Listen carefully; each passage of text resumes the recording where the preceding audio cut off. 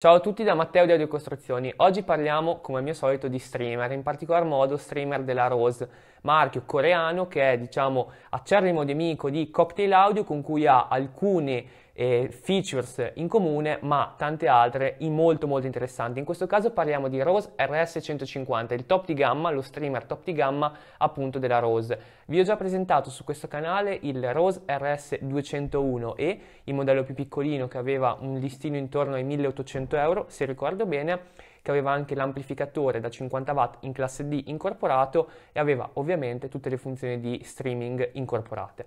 In questo caso abbiamo il top di gamma, come si vede si vede proprio che è un top di gamma perché abbiamo un display frontale da 14.9 pollici e come vedete appunto le dimensioni dello chassis sono molto molto più importanti. Parliamo subito di prezzi, 3.900 euro il prezzo di listino, è un listino molto importante ma alla fine del video forse avrò convinti che il prezzo è giustificato perché per l'appunto abbiamo una miriade di funzioni, soprattutto da un punto di vista sonoro vi lascerà stupiti.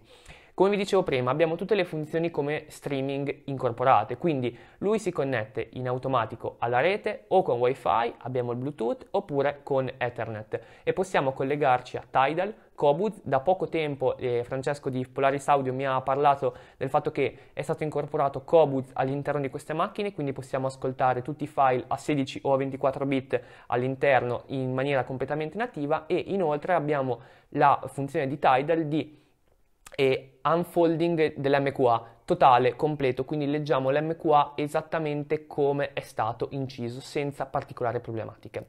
Dopo abbiamo tutte le funzioni video che andremo a vedere successivamente, quindi funzione che possiamo interfacciarci o ad una televisione, quindi ad esempio abbiamo Sky, abbiamo Mediaset e vogliamo guardarci il film col nostro impianto a due canali, comunque con un impianto appunto di buona qualità senza andare a spendere e a investire soldi in un impianto audio-video, oppure possiamo utilizza- utilizzandolo quindi come il suo DAC interno che è di qualità molto elevata, oppure possiamo con l'applicazione integrata YouTube possiamo appunto ascoltare e guardare i filmati che ci sono sul display frontale da 14.9 pollici in maniera completamente nativa e soprattutto gratuita. Abbiamo poi i podcast e abbiamo tantissime altre funzioni al suo interno. E parliamo un attimo del DAC, il convertitore al suo interno è un convertitore AK che ha una, un nome strano che poi dopo troverete nelle caratteristiche tecniche sul nostro sito con la scheda dettagliata. Rispetto al Rose RS201 che ha un DAC di un altro marchio, in questo caso il DAC della AK generalmente viene denominato come un DAC più caldo, più caloroso, quindi con un suono più vellutato mentre il modello inferiore, del, sempre della casa coreana della Rose, generalmente ha un suono un pochino più dettagliato, più preciso. Adesso ci avviciniamo e lo andiamo a vedere più nel dettaglio. Eccoci, come vedete nel frontale l'avete già visto, il, diciamo, il fattore dell'acquisto di un prodotto del genere è molto probabilmente anche il display IPS eh, Full HD, mm, sembra meglio di una televisione, da 14.9 pollici. Possiamo vedere, adesso in questo caso stiamo riproducendo un brano che ho su, memorizzato su un hard disk esterno, quindi dopo vi faccio vedere come si collega un hard disk esterno nella parte posteriore e possiamo vedere la copertina, il nome della traccia, come vedete è un file DSF, quindi un DSD nativo 64, può leggere i file DSD fino a 512, tutti i file MQA, file fino a 32 bit, insomma tutto quello che vogliamo, una vera e propria figata sono i VMeter che noi abbiamo e possiamo riprodurre in maniera enorme e soprattutto possiamo anche cambiare il colore dei VMeter andando magari a scoppiazzare un pochino la Macintosh prendendo un VMeter analogico oppure anche i VMeter blu. Insomma, è una vera e propria figata. Tornando invece nel menu principale, questo, con questo tastino qua, vedete qui abbiamo tutte le funzioni. Come vi dicevo, abbiamo implementato finalmente Cobuz all'interno. RoseTube, possiamo, possiamo entrare dentro a YouTube. YouTube all'interno è senza pubblicità, hanno stretto un contratto Rose con YouTube in modo che per l'appunto non ci siano pubblicità prima dei video che ci disturbino eh, la visione. Noi gli diamo un play, adesso ascoltiamo un brano coreano, sicuramente sarà stupendo e andiamo a vedercelo mentre lo ascoltiamo col nostro impianto a due canali. Possiamo anche mandare il video alla TV se l'abbiamo collegato con l'HDMI senza particolari problemi. Torniamo indietro. Torniamo indietro. C'è anche il telecomando, adesso vado tutto col touchscreen. Musica. La figata del reparto musica che adesso non ci ho messo niente perché questo è un Rose che ho già venduto e quindi non voglio andare a intaccarlo per il prossimo cliente che vuole inserire la sua libreria musicale.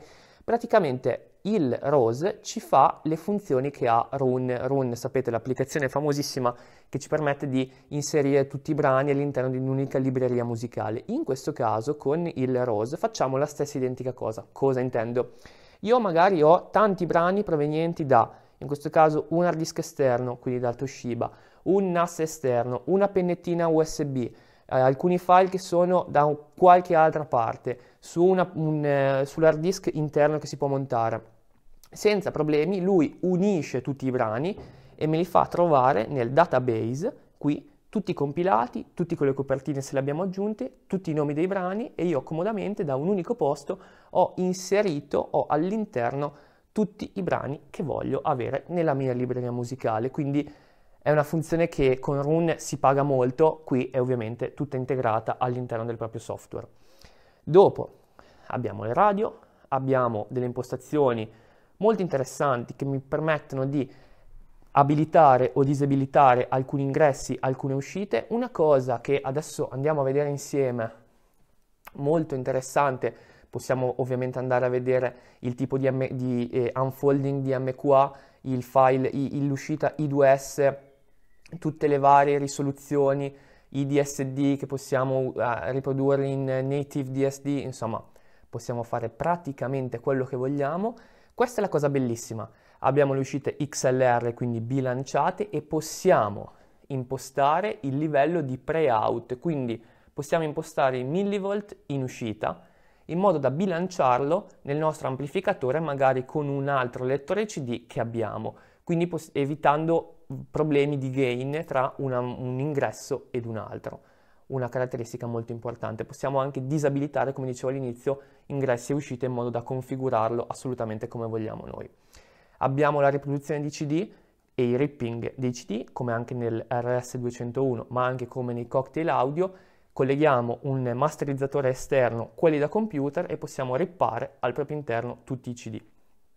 Impostazioni, va bene abbiamo sempre la radio e poi dopo altre funzioni interessanti. Le più importanti secondo me sono Tidal e Cobuz. Eccoci, qui siamo sul mio telefono, come vedete abbiamo l'applicazione che si chiama Rose Connect Premium con cui ci possiamo configurare e, e possiamo dare tutti i comandi che vogliamo direttamente dal telefonino se non vogliamo utilizzare il touchscreen e se non vogliamo utilizzare il telecomando. Andiamo nell'applicazione che si chiama Rose Hi-Fi, eccoci qua Abbiamo tutte le funzioni che vi ho mostrato prima, quindi non sto a rifarvele vedere. Ad esempio qui siamo dentro a RoseTube e abbiamo un sacco di roba che possiamo vedere e dare i comandi direttamente dal telefonino. Possiamo anche controllare le varie funzioni, screen, spegnerlo, il volume e tutto quello che vogliamo. Eccoci nel retro della macchina, come vedete rispetto al RS201 che vi ho già presentato abbiamo tante funzioni in più. Non abbiamo l'amplificatore qui all'interno, quindi paghiamo esclusivamente uno streamer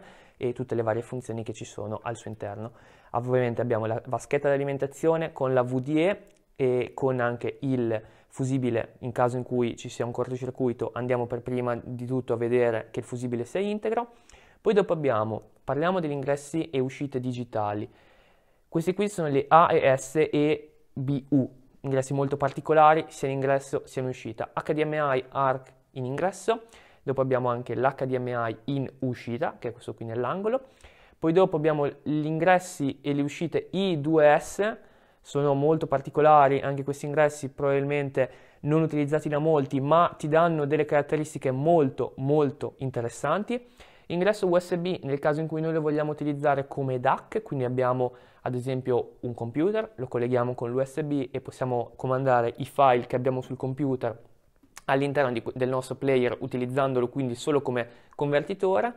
Poi dopo abbiamo sempre ingressi coassiale e ottico in ingresso, uscita coassiale e ottica, quindi se vogliamo utilizzare magari un giorno un convertitore che può essere aggiornato, che può essere di qualità molto migliore rispetto ad un ROS, anche se la qualità qui è davvero eccellente, Ingresso in input line in RCA se vogliamo digitalizzare qualcosa come può essere una bobina, come possono essere altri diciamo formati analogici. Le uscite RCA come vedete dei bellissimi connettori eh, analogici e anche bilanciati quindi XLR come vi facevo vedere prima HDMI, l'USB-C poi dopo abbiamo USB 3, USB 3, la micro SD che, che possiamo inserire se vogliamo eh, inserire appunto invece che una pennetina USB una micro SD, ingresso Ethernet per collegare direttamente la rete e USB Bluetooth dongle che è nella scatola. Allora, la domanda che mi viene posta molto spesso quando i clienti vengono qui in negozio è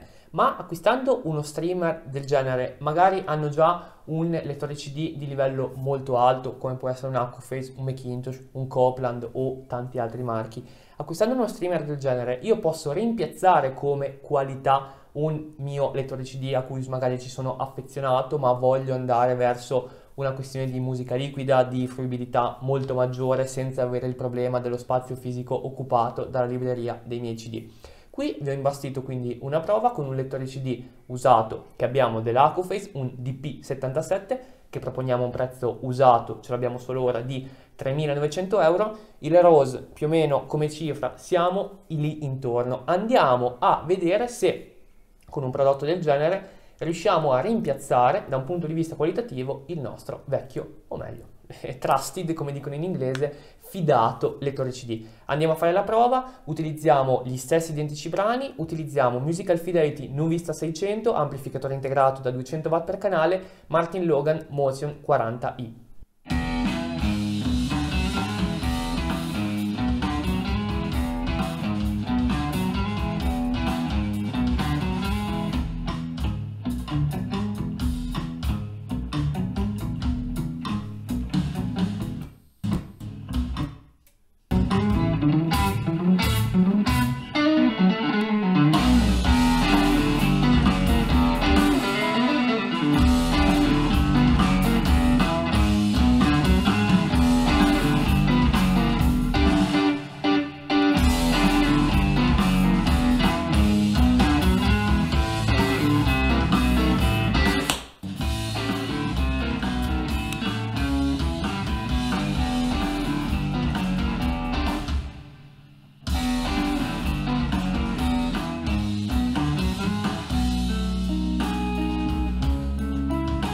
Ben sapete da casa è molto complesso sentire le differenze. Qui in negozio le differenze le abbiamo sentite, si sentono abbastanza bene. Il lettore CD Accuphase risulta essere leggermente più morbido, più vellutato, ma è normale, i CD Accuphase suonano sempre in questo modo. Se ricercate questa timbrica, solo questo marchio potrà darvi delle caratteristiche sonore così. Se però lo andiamo a confrontare da un punto di vista puramente della risoluzione, del dettaglio e queste caratteristiche sonore, ragazzi siamo davvero molto molto vicini. Come dicevo prima, l'acufese è un pochino più morbido, i bassi sono più vellutati, con Rosa abbiamo un suono più dettagliato, più incisivo, ma può essere anche dato dall'abbinamento Rose con il Musical Fidelity che magari dà una, un timbro del genere. L'Acuphase essendo appunto morbido, il Musical Fidelity è abbastanza morbido come suono, si vanno a incupire un pochino il suono senza mai essere ovviamente troppo cupi, stiamo parlando di prodotti di gamma molto molto alta. Quindi qual è la risposta? No, con un Rosa RS 150 non rimpiangiamo secondo me un lettore CD del genere. Sono entrambe macchine di livello altissimo, sono entrambe macchine che sono risultato di ingegnerizzazione agli estremi e che non ci potranno mai deludere. Perché acquistare un Rose e non un altro prodotto, magari di un marchio più blasonato, come può essere un Cambridge Audio di gamma molto alta, oppure ci sono anche altri streamer? La questione è una sola. La qualità sonora è molto alta, come abbiamo appena visto, ma l'usabilità è agli estremi. Abbiamo un touchscreen, abbiamo uno schermo enorme, enorme. possiamo utilizzarlo da il dal divano, da do, dalla sedia in cui siamo seduti senza problemi, con l'applicazione non si impalla mai, si aggiorna sempre questi coreani si stanno andando da fare, come avevo detto nel RS201, davvero tanto tanto. Ogni giorno abbiamo degli aggiornamenti, una funzione nuova, un qualcosa di nuovo. È una macchina completissima. Secondo me distrugge ogni streamer che c'è al di sotto di lui. È uno dei migliori prodotti che io abbia mai testato e sentito negli ultimi anni. Va bene, io vi saluto e vi ringrazio. Ci vediamo al prossimo video. Ciao da Matteo.